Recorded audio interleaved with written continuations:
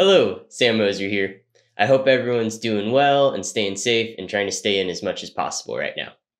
So, this week's video is going to be a little shorter and it's going to focus on just one question, and that is how do you calculate what size battery you need for your camper? Let's just jump right into it. The capacity of a battery is usually listed as an amp hour rating. So, for example, you might have a 12 volt battery, which is listed as 200 amp hours. And if we wanted to oversimplify it, we could say that this battery could provide a 12 volt load with 200 amps of current for one hour. Although, if you remember from the last video, this is a lead acid battery, and you were to discharge it that quickly, the actual capacity would be less.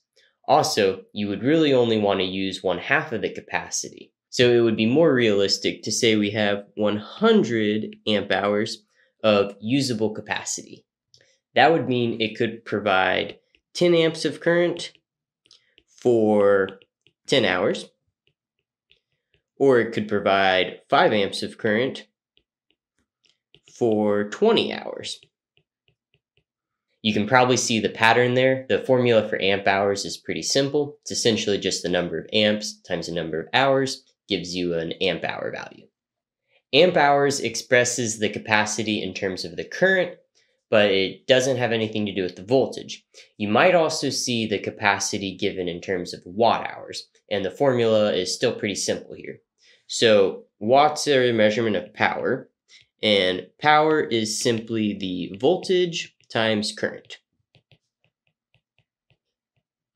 And let me put in the units here, so that would be watts, volts, amps.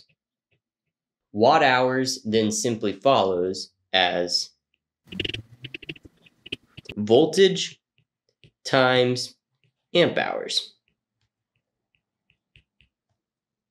Now going back to our previous example, the 12 volt 200 amp hour battery would have 24 watt hours and that's just 12 times 200.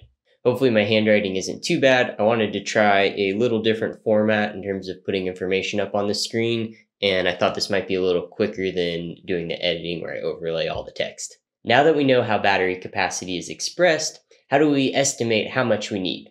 So this is a fairly simple exercise, but the part that can be a little tedious is just searching around for all the details you need. So the first thing you do is basically just make a list of all the items that you want to power day to day in your van. Then for each item, you need to figure out how much power it uses and then sum them all up. Let's go through this for a single item first, and then I'll show you a spreadsheet I made to sum everything up. Let's use a roof vent fan as our example because I think just about every camper is going to have one of these. Okay, so the power equals the voltage times the current. My van has the MaxxFan Deluxe. It runs on 12 volts, and from the manufacturer's website, it says it uses the following currents depending on which speed setting it's at. Most of the time we run our fan pretty low, but if we're cooking or if it's really hot, then we'll turn it up pretty high. So let's say on average, it's drawing about 0.8 amps. And then let's say we run it for 10 hours a day. So that gives us 0.8 amps times 10 hours. And that simply equals 8 amp hours. So if you look at everything you're going to power in your van in terms of how much current it uses at 12 volts or whatever your battery capacity is, then this is really as complicated as it needs to get. It'll just come up with this amp hour usage per day for each item and then sum that all together. But if you have items at different voltages, then you might want to look at everything in terms of its watt hours instead. So for the above example, we'd first calculate its power use in watts. So that's simply going to be 12 volts times 0.8 amps equals, I think that's 9.6 watts. Then we have 9.6 watts times 10 hours equals 96 watt hours. Yep, and then from there, you could sum everything up in terms of watt hours. And if you want to go back from watt hours to amp hours, you just divide by the voltage. So in this case, it would be 96 watt hours divided by 12 volts, and you'd be back at 8 amp hours. Now let's switch over and look at a spreadsheet I made to estimate the power usage for my van. And I cleaned up the spreadsheet, but this is based off of the one I used when I was planning my electrical system. Okay, So here we basically just have a table that lists off most of the items and then gives their voltage and current rating. And this isn't every single thing we power in the van, but this was, you know, the main things kind of used day to day. Yeah, I have two versions here, just kind of first a simplified one where all the currents are given at their 12 volt value. And then I have another one on this tab where we actually have different voltages and then so we calculate the power. And you know, some things like a cell phone charger usually runs on five volts. Um, I didn't list it here, but I have a fan in the back of my van that actually runs at 24 volts. So there's a little regulator that steps up the voltage for that. I'll make this spreadsheet available for you to download and play with, and I'll put a link to that in the video description. So let's look at the simpler version that just lists everything in terms of the current pulled at 12 volts. And after just listing out all the individual things and their current, then we want to look at the quantity of each of those. So for things like the lights, the current value I had was for a single light, but I have eight lights in my van. So added in a quantity row and then an estimate of the hours I'll use each of these per day. And all the values here are just estimates. These aren't really measured or exact values, but from my experience, the sums here came out pretty close to our actual power consumption. So then basically, you know, tally the amp hours. And I think it's useful to do this for a couple different scenarios because you're not going to be using your van exactly the same all the time. So good way to break it up is warm weather, cool weather, you know, summer, winter. And, you know, the big differences here are like the heater, which the heater's fan consumes a pretty reasonable amount of power, and that's not used at all when you're in warm weather. And then, you know, conversely, your fridge is going to use more power when you're in warm weather versus in cool weather. Has to work harder to keep everything cool in there.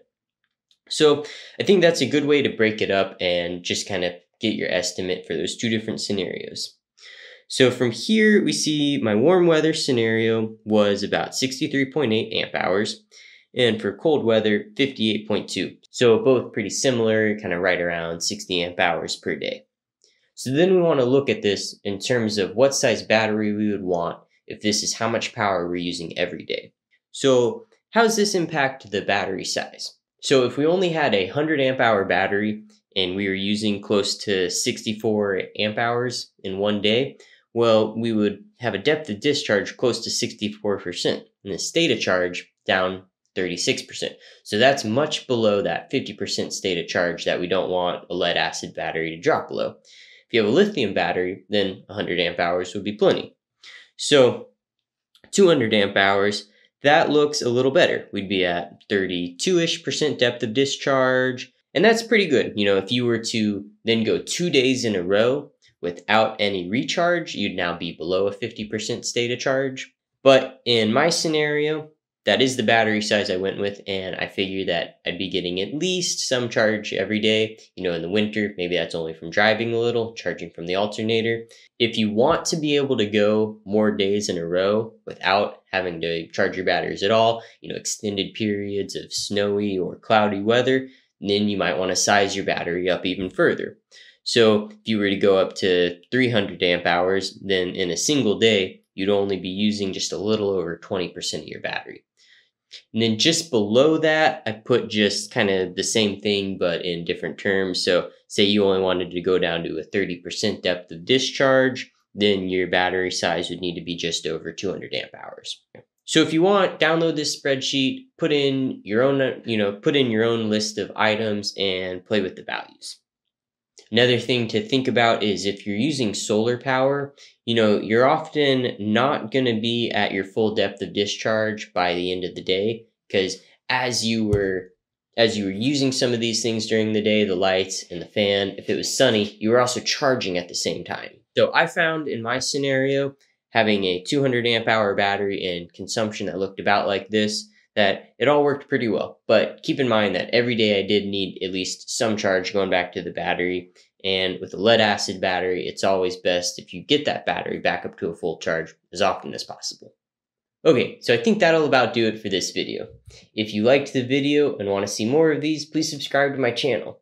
For the time being, I'm going to do more videos about the van build series. I'll have a couple more on the electrical system here, and then I'll get into the rest of the build.